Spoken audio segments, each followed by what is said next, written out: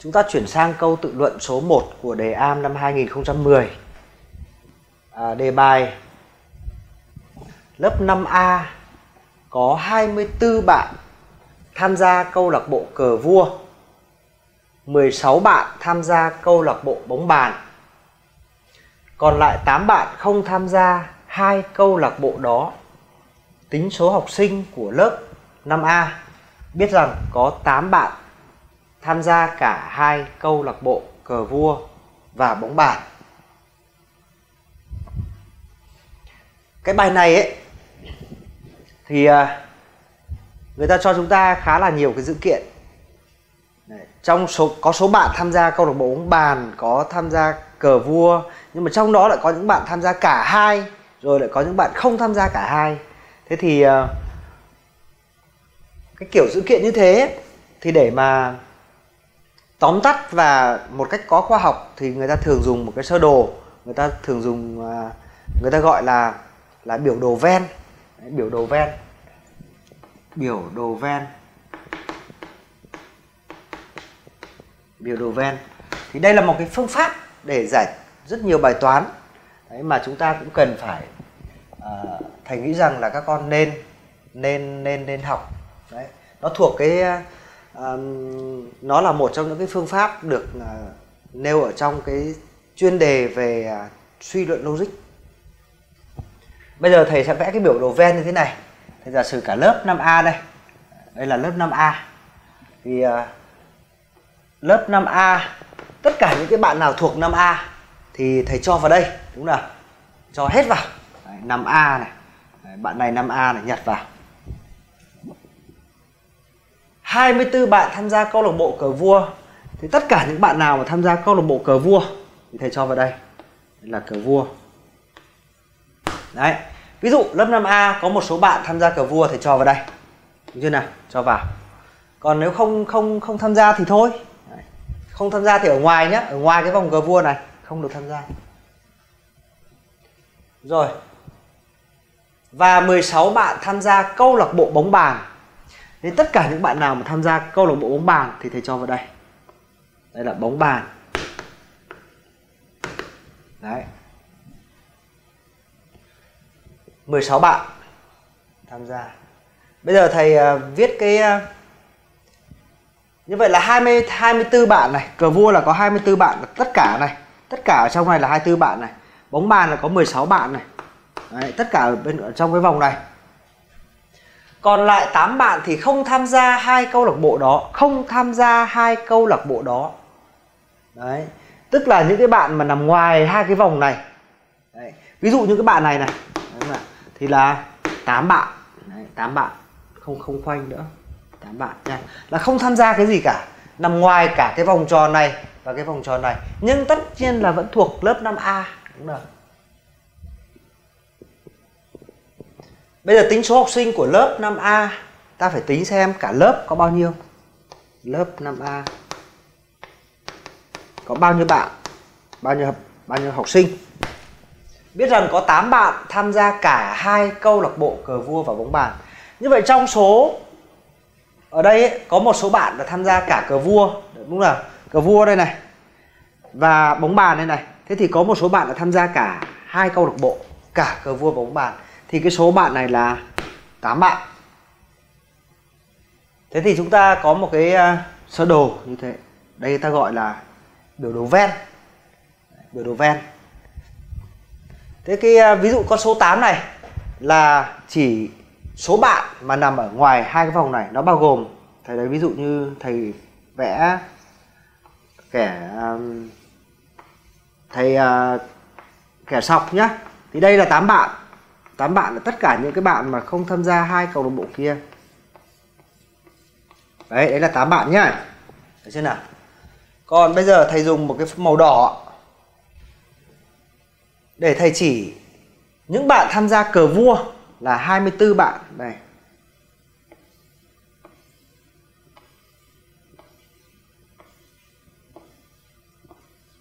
Đây là 24 bạn. Màu đỏ.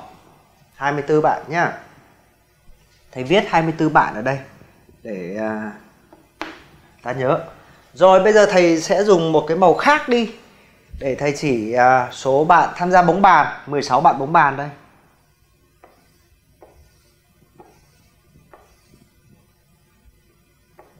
Nó trùng với cái kia mất nhỉ? Bóng bàn đây nhá. Đấy. bóng bàn Đấy. thế thì sẽ có một cái vùng. Đây là 24 bạn này ở đây 16 bạn này. Sẽ có một cái vùng đấy là cái vùng này này. Cái vùng ở giữa ấy, là cái vùng mà các bạn tham gia cả hai câu bộ. Đấy, bạn. Đấy là 8 bạn. 8 bạn. Đó là những cái vùng mà cả à, à, những bạn tham gia cả hai câu lạc bộ. Thế bây giờ chúng ta đi tìm đi tính xem là thì uh, gạch nhiều quá hóa ra cái hình nó lại bị rối mất nhỉ? Thôi được rồi. Bây giờ ta đi tính xem lớp 5A có bao nhiêu bạn. Lớp 5A là cái hình tròn ngoài cùng. Muốn tính cái hình tròn ngoài cùng ta đã biết cái gì rồi. Tất nhiên là nó giống như là bài toán diện tích vậy. Muốn tính cái hình tròn ngoài cùng thì ta sẽ phải cộng các cái các cái vùng với nhau. Thế đầu tiên ta có cái vùng 8 rồi này. Đúng nào? Đấy, không khoanh. Khoanh là nhầm. Ta có cái vùng 8 rồi.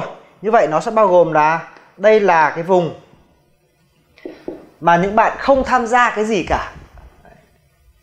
Rồi, bây giờ ta cần cái vùng gì nữa? Chúng ta biết cái vùng thứ hai là vùng màu đỏ. Vùng đỏ nhé vùng đỏ vùng đỏ. Vùng đỏ, vùng thứ hai. Thế cái vùng đỏ này là 24 bạn bằng 24 này. Đấy. Còn cái vùng này là vùng trắng này, là 8 bạn này.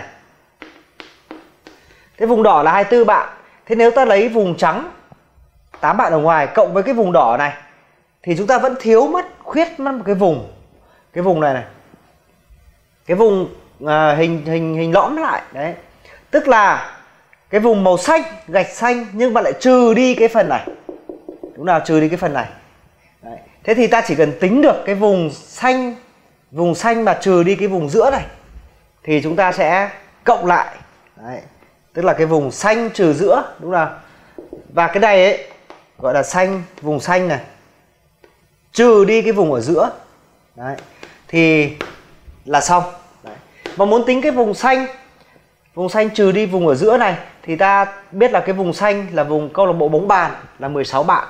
Còn ở giữa là gì? Là những bạn tham gia cả hai câu lạc bộ 8 bạn. Thì ta lấy 16 trừ đi 8 ta còn 8 đúng chưa nào? Thì đây chính là 8 bạn như vậy ba cái vùng này cộng lại chúng ta sẽ được số học sinh của cả lớp 5A. Vậy thì ta có số lớp 5A là bằng 8 cộng với 24 cộng với 8. Đấy, sẽ bằng là 16 cộng với 24 bằng 40 bạn. Đấy, thì đây là đáp số. Tuy nhiên cái bài này nó lại được ra ở trong cái phần uh, tự luận tức là đòi hỏi chúng ta cần phải lập luận. Đấy, vì vậy mình sẽ đi phân tích xem là muốn đi trình bày thì ta sẽ qua các cái bước nào. Qua các cái bước nào. Bước thứ nhất là chúng ta cần phải tính cái vùng 8 này. Đúng là cái vùng à, vùng vùng xanh trừ giữa này. Đấy, vùng xanh trừ giữa. Đây là bước 1 cái vùng này ta gọi nó là vùng gì? Vùng xanh là vùng câu lạc bộ bóng bàn trừ giữa là trừ những bạn tham gia cả hai câu lạc bộ.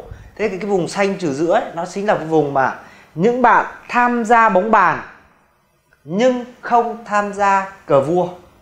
Đúng chưa nào? Tham gia bóng bàn nhưng tham gia cờ vua. Hay chúng ta còn gọi là chỉ tham gia bóng bàn. Đấy. Thế thì đây là chỉ tham gia bóng bàn hoặc là chỉ tham gia bóng bàn. Đấy. Hoặc là gì? Hoặc là tham gia bóng bàn, nhưng lại không tham gia cờ vua nhá. Đấy, một trong hai cách để gọi.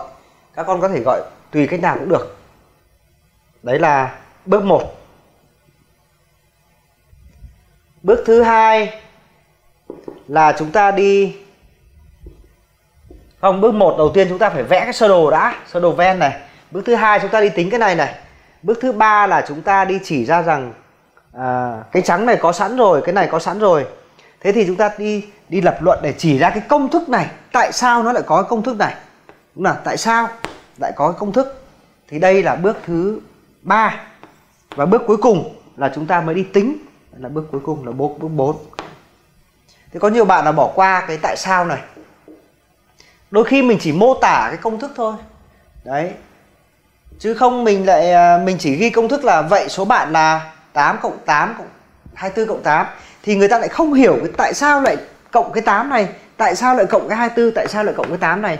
Cái 8 này với cái này nó nó là cái gì? Đúng là người ta không hiểu hết được ý nghĩa, cho nên chúng ta phải cần bước 3 là giải thích cái công thức. Thì đấy là cách để chúng ta trình bày tự luận. Và bước cuối cùng là chúng ta tính cái này. Như vậy bài toán của chúng ta sẽ đi phải trình bày qua bốn bước thì nó mới chặt chẽ. Lời giải như sau. Lời giải đầu tiên là bước 1 là số bạn. Thầy dùng từ là số bạn tham gia bóng bàn nhưng không tham gia cờ vua. Số bạn à ta có sơ đồ. Ta có sơ đồ. Các bạn vẽ vào sơ đồ vào cho thầy nhá.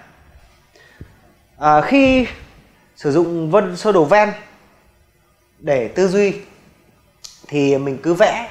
À, nó nói chung là cũng không cần chính xác lắm các con đừng cứ buộc phải tròn, mà chỉ cần là hình quả trứng cũng được, không có vấn đề gì. Rồi, tiếp bước tiếp theo là, bước 2 là số bạn tham gia, số bạn tham gia câu lạc bộ bóng bàn. Nhưng không tham gia cờ vua là, nhưng không tham gia câu lạc bộ cờ vua là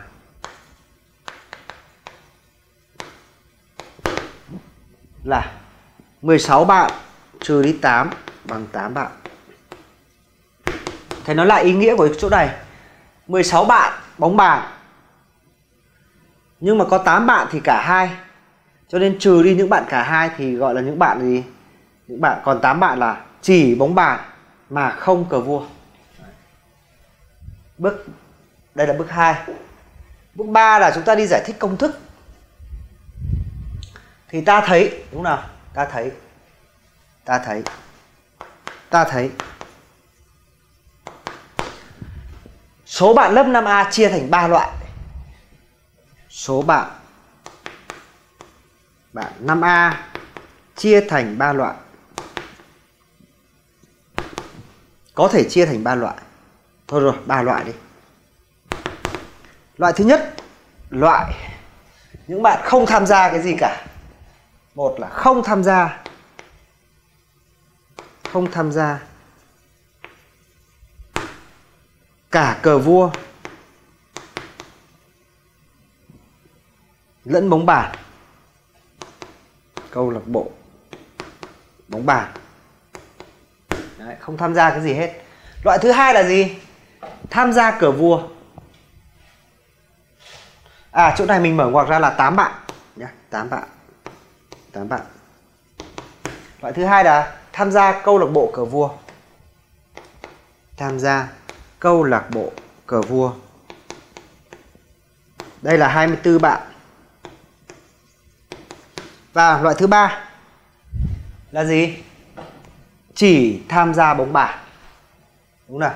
Hay là tham gia cờ vua nhưng không tham gia bóng bàn? À tham gia bóng bàn nhưng không tham gia cờ vua. Tham gia câu lạc bộ bóng bàn mà không tham gia câu lạc bộ cờ vua. Chúng ta chỉ ra cái chỗ, chỗ này là 8 bạn vừa tính ở trên. 8 bạn. Cuối cùng chúng ta đi tính vậy, số bạn lớp 5A là vậy, số bạn lớp 5A là là 8 cộng 24 cộng 8 bằng 40 bạn. Và ta có đáp số 40 bạn.